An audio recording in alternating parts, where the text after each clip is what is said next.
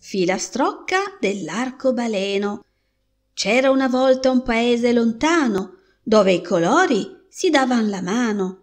Tra tutti il rosso era il più piccolino e l'arancione gli stava vicino. Rideva forte il giallo brillante e il verde lì accanto parlava alle piante. Alti nel cielo l'azzurro ed il blu guardavan la terra e stavan lassù più grande e più scuro degli altri era il viola ma i sette sembravano una cosa sola. E chi li vedeva nel cielo sereno diceva guardate c'è l'arcobaleno